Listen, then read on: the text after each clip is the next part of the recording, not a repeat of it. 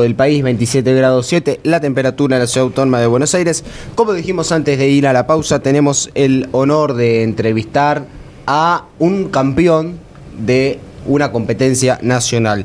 Marcos Díaz, arquero de Huracán, muy buenas tardes, noches para vos. Y primero que nada, felicitaciones por el logro obtenido. Muchísimas gracias. Eh, buenas tardes para todos. Saludos. Bueno, bueno, sensaciones que te hayan producido, que se te hayan pasado por la cabeza después del penal que le, contuviste al Zapito Encina. Eh, no, algo inexplicable. Una alegría enorme. Se te cruzan muchas cosas por la cabeza. Eh, después de tanto sacrificio de uno, de llegar a, a jugar en primera y lograr algo así en un club grande como Huracán. Eh, la lucha que la familia siempre al lado de uno, eh, de mi familia hoy por hoy, de mi señora y mi hijo. La verdad se cruzan muchas cosas que la verdad que es muy lindo cuando te pasa esta cosa, revivirlo, tenerlo en la cabeza es algo espectacular. Y justamente lo que decimos que es una sensación inexplicable porque es cierto, lo debe ser sin ningún tipo de dudas a partir del, del sacrificio que se hace, se disfruta más siendo que capaz eran en la previa los menos favoritos, por así decirlo.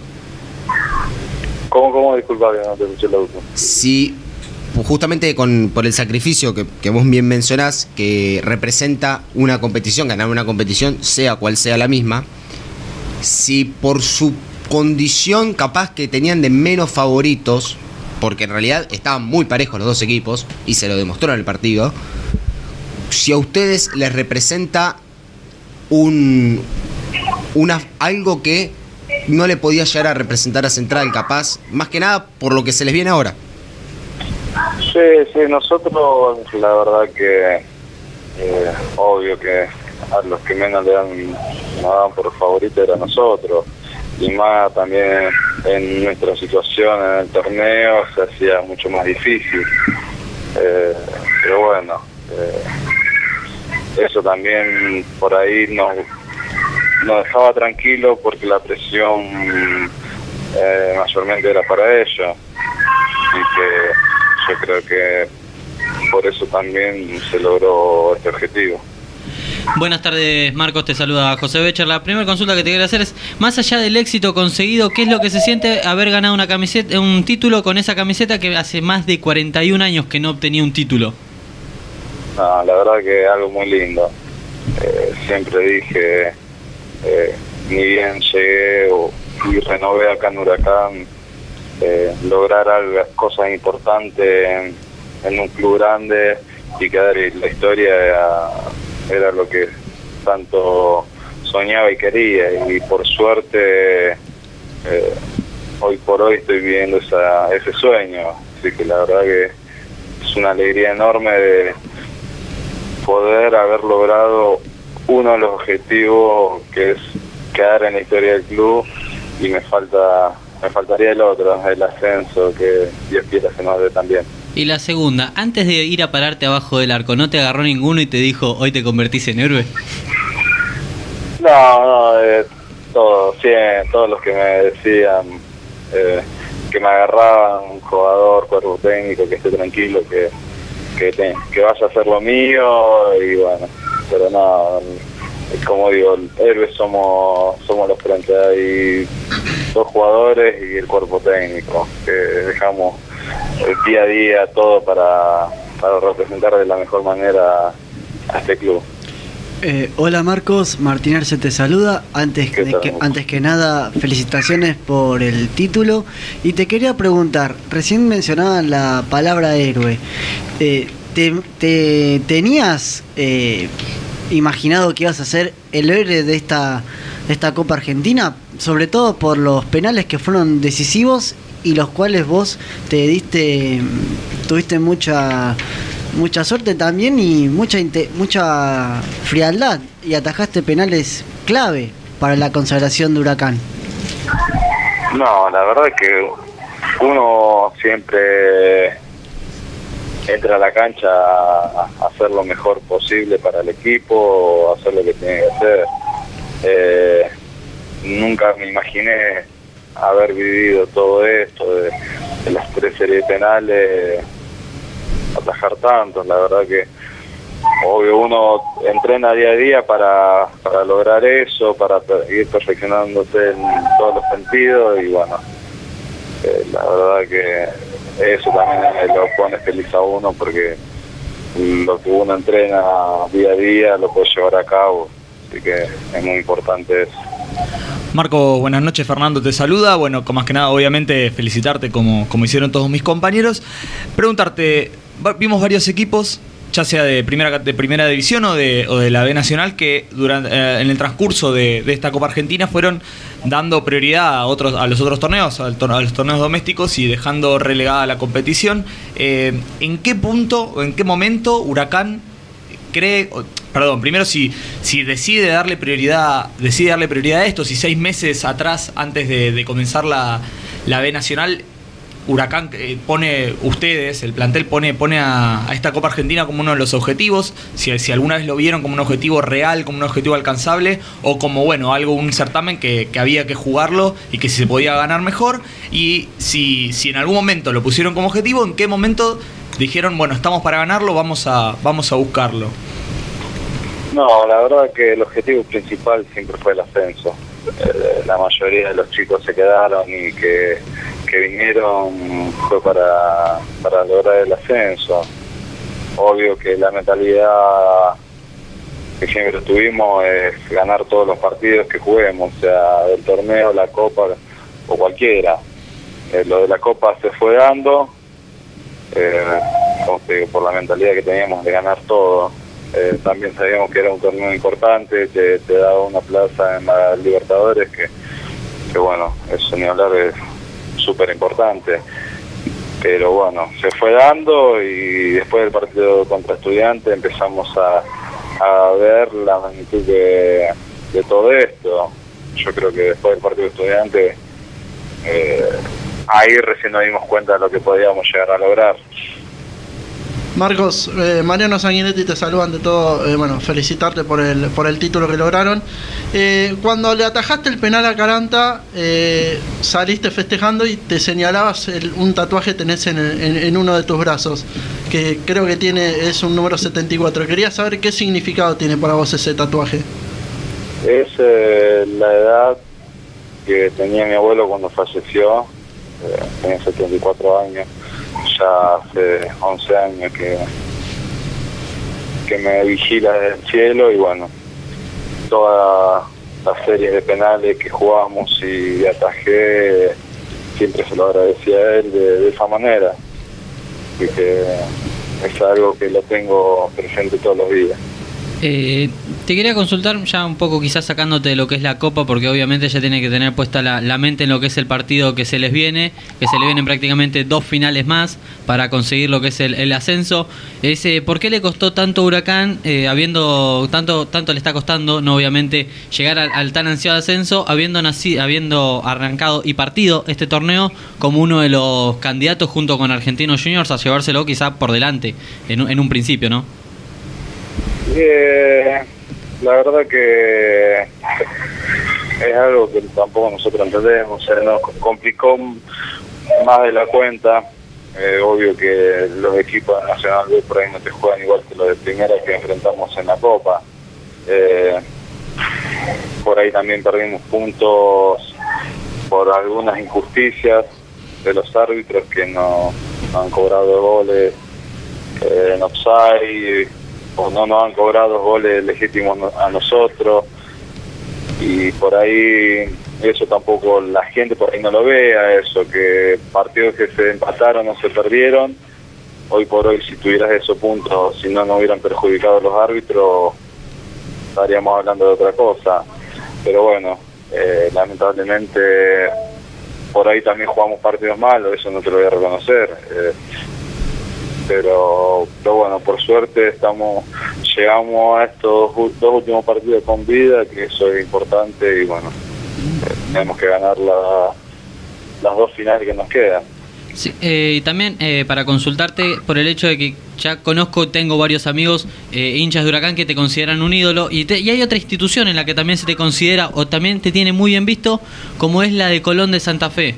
Yo quiero saber cómo es tu relación hoy por hoy con la institución, sabiendo la salida que tuviste del club de allá de, Santa Fe, justamente. Eh, no, soy hincha de Colón. Eh, nací futbolísticamente ahí en Colón de los nueve años y recién me fui de Colón a los 26, así que te imaginarás que toda una vida adentro del club. Lamentablemente no me fui de la mejor manera, no pude con- encontrar la continuidad que, que necesitaba, pero bueno, el aspecto de que uno como hincha siempre es el mejor, pero bueno, eh, lamentablemente hoy por hoy no estoy alejado de lo que es el Club Colón en todo sentido y bueno eh, por suerte y gracias a Dios eh, se me cruzó acá en mi camino y por hoy estoy viviendo eh, mejor momento de mi vida gracias a Huracán. Bueno, quizás para traerte, quizás para llevarte un poquito más y para cerrar con lo que es el tema Colón, también me ha llegado el dato de que estás en juicio, ¿no? Con la institución. Sí, sí, sí, sí. eh, me deben un año de, de contrato, no, nunca me han pagado y bueno, eh, con la dirigencia de, de Lerche, una de sus tantas malas negociaciones y bueno, y tampoco la gente nueva quiso llegar a un acuerdo conmigo, que eso también es por algo que me alejé también del club, no, No. no me gustó el manejo que tuvieron conmigo después de tanto tiempo, gente que me conocía, de no querer llegar a un acuerdo me dolió mucho y bueno. ¿No, ¿no te llamaron que- o no te reconocieron la deuda? ¿Cómo fue, cómo fue la cuestión con la nueva dirigencia? Ninguna de las dos cosas. Cuando eh, no me llamaron para arreglar y cuando yo llamé para arreglar, me mandaron derecho a juicio, que haga juicio, que ellos no, no podían hacer mucho. Pero bueno, lamentablemente me dolió eso porque no eh, era sentarse a hablar y, y negociar y bueno, nunca quisieron. Así que, pero bueno, son cosas que pasan, le duele a uno por, lo que te digo, muchos años vivido en un club y que te paguen de esta manera, pero gracias a Dios hoy por hoy Huracán me está haciendo pasar el mejor momento de mi vida. Justamente volviendo al presente del, del equipo de Parque Patricios, las dos finales que, se- que les quedan son contra dos equipos que ya no tienen prácticamente, uno ya no tiene y el otro creo que necesita ganar un milagro prácticamente es Independiente Rivadavia para ascender. No tienen chances para ascender a la primera división. ¿A ustedes les sirve, a partir del envío anímico que tienen por la obtención del título de la Copa Argentina, les sirve que su rival haga lo que o tenga la posición que habitualmente se llama no juega por nada? No, estos son los peores partidos que a uno le toca jugar. Cuando los equipos no están jugando por nada, por ahí juegan más relajado, o no sé, de querer arruinar el torneo del otro, por ahí juegan de otra manera.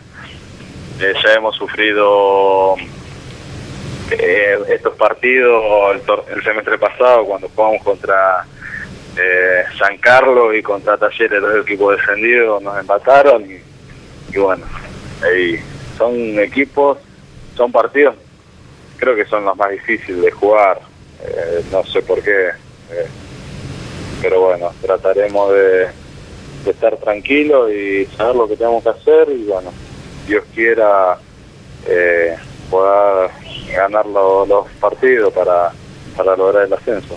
Lo más importante, entonces, en base también a, lo que vos decís, es que en la próxima fecha Atlético de Tucumán, el, equipo más cercano, tiene fecha libre, lo cual eso es muy importante. Será un- una oportunidad más, más que clara para, tomar ventaja, para acercarse en la tabla, eh, que más precisamente empatar al equipo tucumano. ¿Y cómo te imaginás? En ese marco, volver a, volver a la cancha de Huracán y el recibimiento de la gente. Eh, nos viene bárbaro eso, que Atlético quede libre en este momento, por eso es fundamental el triunfo y llegar eh, a la última fecha con un mano a mano. Eh, así que directo con, con Tucumán, porque vos ganando este partido, a ellos lo obliga sí o sí ganar el, el próximo partido, porque no, no le sirve ni un empate si nosotros ganamos. Por eso tenemos que ganar los dos partidos que, nos quedan. Y bueno, y es algo, una motivación extra cerrar el torneo en nuestra cancha, que por ahí lamentablemente el último partido no lo pudimos ganar, pero bueno, se jugó entre todos bien y bueno, y con un equipo que por ahí te va a salir a proponer también fútbol, que es lo que mejor no, nos conviene a nosotros, no viene no viene bárbaro y más con toda nuestra gente. El, bueno, para ir cerrando también, ¿cuál es tu expectativa de cara a estos dos partidos que quedan y cómo te ves el 8 de diciembre? Eh, Dios quiera festejando todos juntos los dos logros, eh, la Copa Argentina y el, el, y el ascenso. Pero bueno, eh, vayamos partido tras partido, ganemos el domingo y llegar con la cabeza eh, de la mejor manera al último partido. Bien, acá por último justo me llega también un mensaje de un, de un amigo hincha de Huracán. Eh, me pide que te mande saludos y que te diga que sos un crack. Eh, Luciano, el nombre, no sé si, si le querés mandar algún saludo. No, eh, lo voy a decir siempre, voy a estar agradecido eternamente con toda la gente de Huracán, porque siempre me hicieron sentir muy cómodo eh, desde el primer minuto. Y hoy por hoy ser parte de, de, este festejo, la verdad que me pone muy contento, muy feliz de devolverle eh, todo ese cariño que me brindan con este con este campeonato, la verdad que eh, me pone muy feliz y bueno, saludos a todos, agradecido eternamente a toda la gente y bueno, ojalá que estemos festejando fin de todos juntos. Muy bien, entonces agradecerte por la diferencia que tuviste hacia actualidad deportiva. Un excelente cierre de año para que se corone de la mejor manera y pronto vuelva a estar Huracán en la categoría que merece estar, que es la primera división del fútbol argentino. Dios quiera, muchísimas gracias a ustedes por, por este por la nota y bueno, desearle lo mejor a ustedes también, todos los éxitos. Muchísimas gracias. Entonces pasaba la palabra de Marcos Díaz, arquero de Huracán, reciente campeón de la Copa Argentina 2013-2014 del fútbol argentino. Y se juega todavía la 2014